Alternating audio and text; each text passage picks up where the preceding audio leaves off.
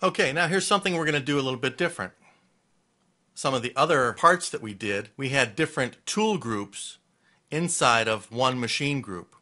But in this case, this machine group is going to do all of the cuts that we just did. But we can actually pick a completely different machine to do the other side of the part. In that case, I'd right click in the Operations Manager, go to my Groups, and tell it I want a new machine group, and I'm going to pick Lathe. And I can name this new machine group. And I'm going to call it Setup 2 Live Tooling because we're going to be using live tooling to cut the hex and the slots. Go to our next tab. There's our tool settings. Again, you can give it any four digit program number you want. Calculate from material. Basically, these are as before. And we're going to set up stock. So it's just like we're setting up a new job for a completely different machine. I could actually, under Files here, have gone to Machine and picked Replace and selected a completely different machine if I wanted to.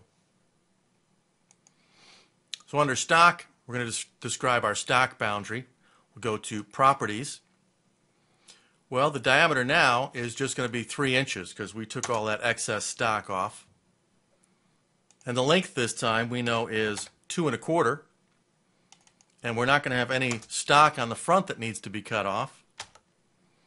But there is an ID hole this time.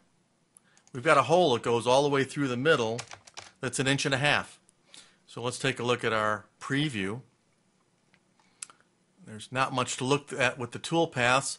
I can turn off that toolpath display and there we can see the boundary of our stock.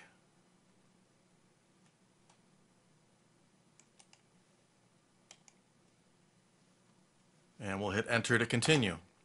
So that looks good. We're going to OK that. Now, for now, we're not going to do anything with our chuck jaws. We're actually going to come back to that in a second because what I need to do is to flip the part over first. So let's just OK this.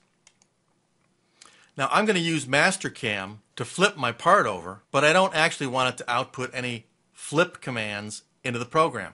I don't want it to tell the operator to flip the part. So what we're going to do is go to Toolpaths, Miscellaneous Operations, and we're going to tell it that we want to do a stock flip.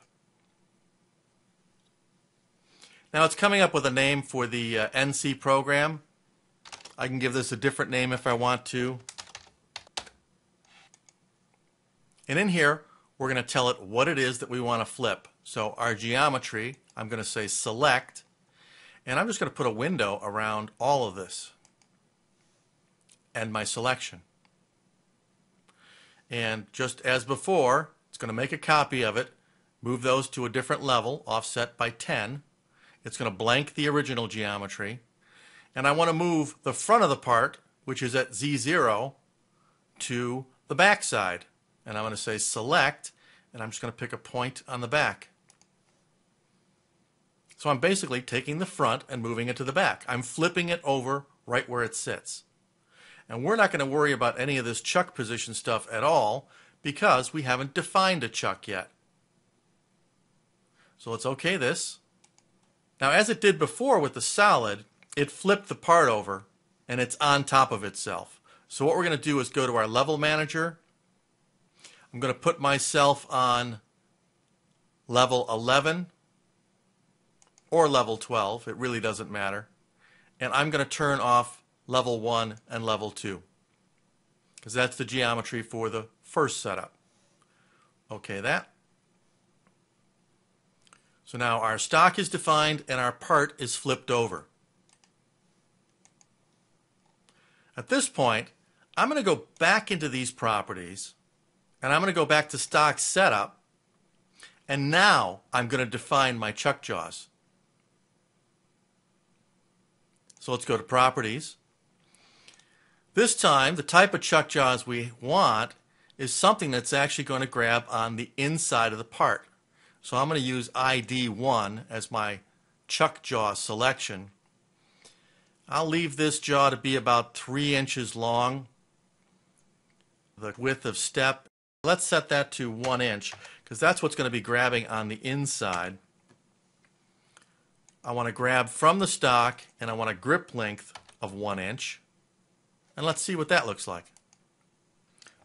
Turn off my shading and yeah, there's my chuck jaw right in there.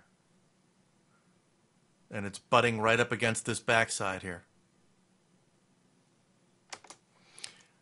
We can OK that for now and let's turn on our shaded boundaries. And you can see that a little bit better just go back to properties and preview. So you can see there's our chuck jaw and there's our stock. Now I know our stock has actually been cleared out up to here, for the purposes of illustration so that you can see what's going on, this is fine.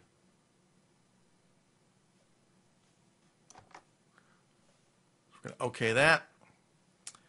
And I think I'm going to turn off that shaded boundary and OK this and I'll reshade my solid.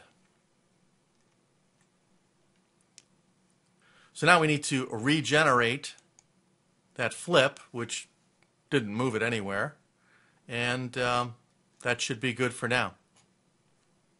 If you haven't done so, make sure you're saving this part. We probably should have saved it before we did the flip. If you're about to do the flip, make sure you save your part.